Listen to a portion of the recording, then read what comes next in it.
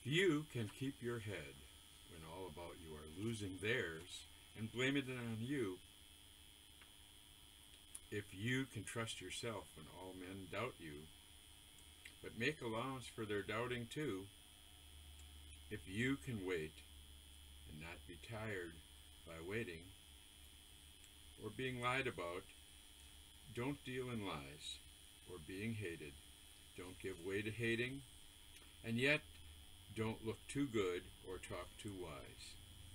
If you can dream and not make your dreams your master, if you can think and not make thoughts your aim, if you can meet with triumph and disaster and treat those two impostors just the same,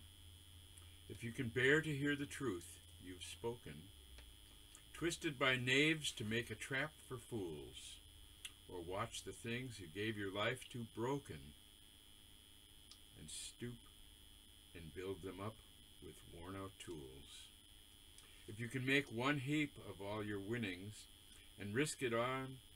one turn of pitch and toss, and lose, and start again at your beginnings, and never breathe a word about your loss. If you can force your heart and nerve and sinew